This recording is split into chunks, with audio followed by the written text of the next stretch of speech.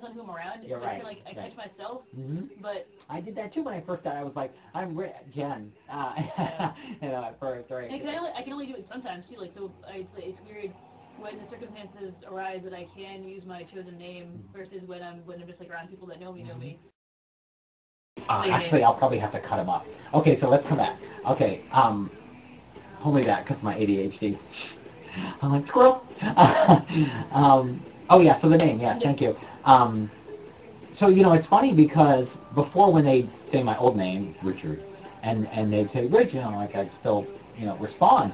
Um, and then when I started using Jen, um, after a little while they'd say Jen, and I was like, Like Jen, and I thought, oh, I wish Jen would like perk her head up and figure out. I know, right? There she is, right? And then after a little while, it was like Jen. I was like, oh, okay. And now it's so like, and they go, Jen, what? Yep. And um, now when I hear that old one, I go, and I have to stop for a minute. I'm like, so I have to remind my my um, some of my individuals that I know that are struggling with because they knew me more. And they go, they come to me and they say, it's kind of weird. They're like, to have to call you this other name, and I was like, Then again, "Um, do you, uh, do I really look like Richard right now? I, th- I was just gonna say, I'm like, do I really look like a dude?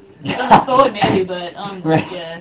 you know, seriously, I was like, and I do that something. Of course, I usually chuckle, but um, But but- no, seriously, stop. no, but thank Yeah. you exactly. I'm like, you know what? Seriously, It is funny, but at the same time, it's really not. No, I'm making you laugh because I don't want to tell you how serious it is. exactly, exactly, because that's you know, it kind of gets to me when when I get some of these